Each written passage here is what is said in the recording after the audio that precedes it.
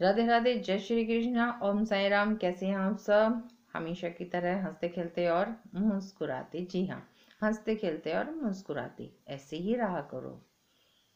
जैसा कि आप सब जानते हैं कि भुजाई ने नरसी जी को घर से निकाल दिया। गाँव में भी कोई आसरा नहीं देता। अब नरसी जी पहुँच जाते हैं तपस्या करने। वहाँ उन्हें भोले जी का शिवलिंग दिखता है और एक पाँव पे खड़े होकर भोले जी भोले जी की तपस्या करते हैं नरसिंह जी। प्रसन्न होने के पश्चात भोले जी अपनी कहानी बताते हैं क्योंकि नरसिंह जी कहते हैं, मुझे और कुछ नहीं चाहिए, केवल राधा कृष्ण के दर्शन करा दीजिए। अब भोले जी राधे कृष्ण के दर्शन किस प्रकार से होंगे? उस सब का विस्तार से नरसी जी को बताते हैं। कहते हैं कि एक दिन क्या होता है नरसी? जब मैं कैलाश पर्वत पहुँचा तो मैं क्या देखता हूँ कि पार्वती जी, मेरी धर्म पत्नी पार्वती जी। नरसी, वो इतनी खूबसूरत, इतनी खूबसूरती से तैयार हुई कि मैं क्या बताऊँ? मैंने देखा तो मैं देखता ही रह गया कि वाह, क्या बात है पार्वती जी। अरे, इतनी खूबसूरत तो आप शादी में भी तैयार नहीं हुई। आज कहाँ जाने का विचार है जो इतना श्रृंगार, इतने जेवरात? पार्वती जी बोली, भोले जी, मैं वृंदावन जा रही हूँ ठाकुर जी की रास की लीला देखने। को भोले जी कहते हैं, ठाकुर जी की रास की लीला, उसमें ऐसा क्या है? पार्वती जी कहती हैं कि, अरे ये पूछो, उसमें ऐसा क्या नहीं है? सबसे पहले तो भोले जी आपको मैं बताऊँ तो ठाकुर जी का एकदम खूबसूरत रूप निहारने और देखने को मिलता है। दूसरा राधा, रुकमन, उनकी अन्य गोपियाँ, रानियाँ सब नृत्य करती हैं। इतना खूबसूरत नृत्य करती हैं। रास की लीला वो देखने लायक उन सबके बीच में हमारे ठाकुर जी होते हैं, जो अद्भुत नृत्य करते हैं। वही नज़ारा होता है देखने का। भोले जी कहते हैं, अगर ठाकुर जी इतने खूबसूरत लगते हैं, पार्वती जी तो तुम अकेली क्यों जाओगी? मैं भी चलता हूँ ना। जब ठाकुर जी इतनी रानियों के साथ, गोपियों के साथ, राधा रुकमन के साथ नृत्य करेंगे तो अरे, मैं तुम्हारे साथ नृत्य कर लूँगा। अब तो पार्वती जी नाराज़ हो गई, कहती है, भोले जी, मैं आपको बिल्कुल नहीं लेके जाऊँगी। बोले क्यों? ऐसा मैंने क्या कह दिया कि तुम मुझे लेकर नहीं जाओगी? बोलने लगी। पार्वती जी कहती हैं कि, देखो भोले जी वहाँ पर पुरुषों का जाना वर्जित है। यानी ठाकुर जी के सिवा दूसरा कोई पुरुष नहीं होगा। होंगी तो केवल गोपियाँ। अब ठाकुर जी का रूप भी देखना है और अन्य पुरुष भी ना हो, ये कैसे हो सकता है? महाराज, भोले जी कहते हैं कि तुम इतनी रात को जाओगी। तुम्हें कोई ना कोई तो चाहिए ना। मैं चलता हूँ ना? पार्वती जी कहती हैं भोले जी मैं शक्ति मैं सब पे भारी। फिर कहते हैं भोले जी कहते हैं नहीं वो तो ठीक है पार्वती जी पर हम्म, इतना जेवर भी तो तुमने पहना है, कितने गहने पहने हैं।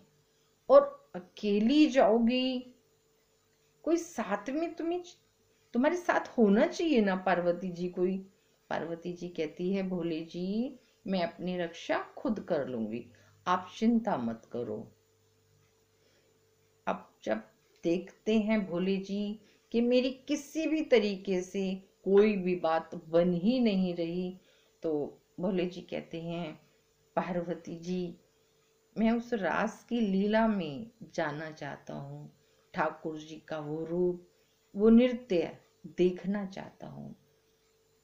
किसी भी तरह, मुझे वो दिखा दो। अब जब भोले जी ने हाथ जोड़ लिए तो पार्वती जी पत्नी है। उन्होंने एकदम भोले जी के हाथ पकड़ लिए और कहा भोले जी, ये आप क्या कर रहे हो? बोले, मेरे को भी देखना है ठाकुर जी का जो रूप, जो नृत्य तुमने बताया है, इतनी प्रशंसा तुमने की है। तो मेरी इच्छा है कि मैं भी जाऊँ, मैं देखना चाहता हूँ। अब तो भोले जी ने कहना शुरू किया कि मुझे एक युक्ति सूझ रही है। बोली, कैसी? कि तुम एक काम करो, वहाँ महिलाएँ तो जा सकती है ना। गोपी बन के? बोली हाँ। तो तुम मुझे गोपी बना दो। बस, सबको बोल देना कि मैं तुम्हारी सहेली हूँ। असलियत मत बताना। अब पार्वती जी हंसे तो हंसे। भोले जी कहते हैं, पार्वती, ऐसा मैंने क्या कह दिया जो तुम इतना हंस रही हो? कहती हैं हंसो नहीं तो क्या करूँ भोले जी? आप भी खो हो, जानते हो। आप गोपी बनो, ये सब। नहीं नहीं नहीं, मुझसे नहीं होगा। बोली, कोशिश तो करो। अब भोले जी बहुत ही प्रेम से कहते हैं तो पार्वती जी कहती है अच्छा ठीक है।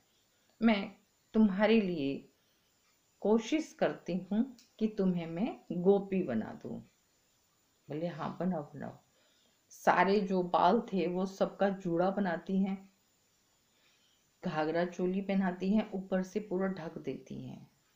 अब सोचिए कि भोले जी के शरीर में चंदा मामा, गंगा जी, सांप, बिच्छू, लगभग सब कुछ जो धुनी लगाते हैं, भसम लगाते हैं, वो सब। अब भोले जी की तैयारी पूर्ण रूप से कर दी गई। उन्हें गोपी बना दिया गया। अब पार्वती जी ने कहा, भोले जी, चल के दिखाओ। जब वो चले तो धम धम बोले, भोले जी ये चाल अगर तुम आदमियों जैसी चलोगे तो कहाँ से गोपी लगोगे? कोशिश करता हूँ, पार्वती, थोड़ा रुको। बोले हाँ। अब पार्वती जी गोपी की तरह चलाती हैं धीरे धीरे धीरे। बोले, ठीक है, चलते हैं। तो बोले हाँ अब ठीक है। दूसरा दूसरा पार्वती जी कहती हैं कि, देखो, भोले जी, आप जब वहाँ पहुंचोगे ना तो मैं स्पष्ट रूप से कह देती हूँ कि पहला तो आप मुँह नहीं उभारोगे। किसी को भी अपना चेहरा नहीं दिखाओगे। बोले, ठीक है नहीं दिखाऊँगा। दूसरी चीज़, तुम्हारी आवाज़ सब पहचानते हैं और ठाकुर जी तो खास तौर से तो तुम मुँह बिल्कुल नहीं खोलोगे। यदि वो कोई प्रश्न करेंगे तो जवाब मैं दूँगी। बोले, ठीक है, इतनी सी ही तो बात है। वो कुछ पूछेंगे। तुम जवाब दे देना।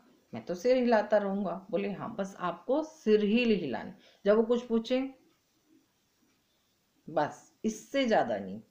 बोले, ठीक है।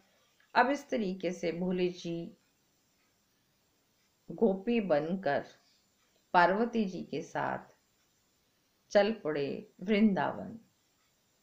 वृंदावन में जब वो पहुँचे तो ठाकुर जी का जो रूप था, वो बहुत ही खूबसूरत था।